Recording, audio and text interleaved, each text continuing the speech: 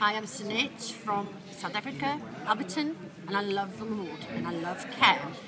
KAM is the most amazing program available to use for all and any Christian. And I suggest if you love Jesus and you want to give his word out to anybody that wants to learn it, use KAM. You will never ever be sorry.